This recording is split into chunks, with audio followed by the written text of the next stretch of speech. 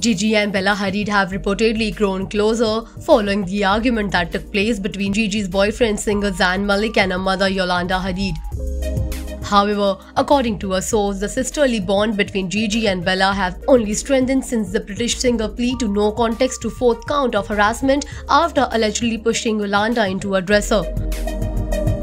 The source also revealed that Bella have attached by Gigi's side as the situation has caused a lot of tension within the family and the model appreciated how her sister has supported her during this difficult time.